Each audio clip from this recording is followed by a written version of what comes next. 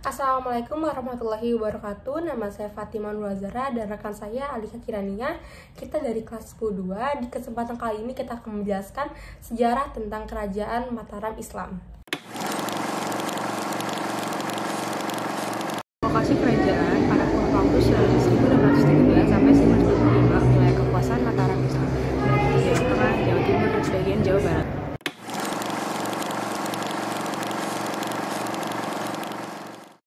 Sebagai pendiri dan raja pertama dari kerajaan Mataram, Suto Wijaya mendapatkan banyak sekali rintangan, terutama dari Bupati Pantai Utara Jawa yang awalnya tunduk kepada Pajang.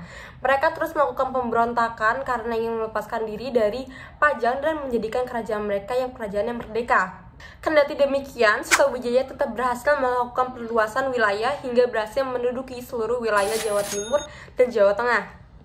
Kesultanan Mataram mencapai pada titik puncak kejayaannya pada masa pemerintahan Sultan Agung dari tahun 1613 sampai dengan 1645 Masehi. Di bawah kekuasaannya, Mataram sempat beberapa kali melakukan penyerangan ke Batavia untuk memerangi VOC. Selain itu, wilayah kekuasaan Mataram hampir meliputi seluruh Pulau Jawa.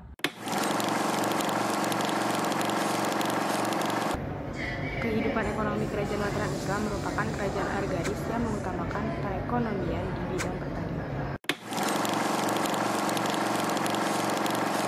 Pada masa kebesaran Mataram, kebudayaan juga berkembang pesat, antara lain seni tari, seni pahat, seni sastra, dan sebagainya.